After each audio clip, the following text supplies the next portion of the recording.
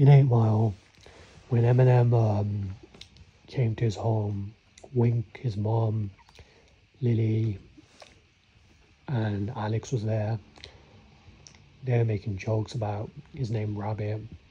Then Eminem walked out, and then Alex came out saying, "You don't be, have to be embarrassed about where you live."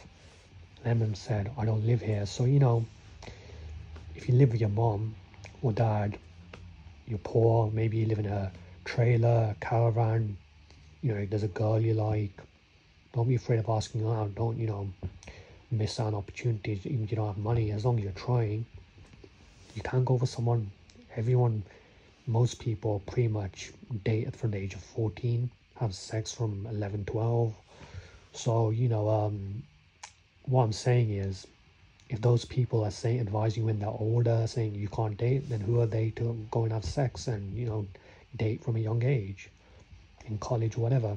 Because everyone's studying in college basically. Some people do have jobs yeah but some people have to study full time you don't have to have money to date. If you like someone you're really loyal. You can just talk and have a laugh about things you know later on when the money comes you know pay off then. All that you know all that you know um, that loyalty through the hard times will pay off and make your relationship even stronger and some people do have a strong relationship some people came from nothing. I mean, a lot of elders came from nothing. And then, you know, they uh, worked hard and they're together. So it just goes to show a lot of young people really don't understand relationships. I'm not saying elders do either because, you know, a lot of them don't.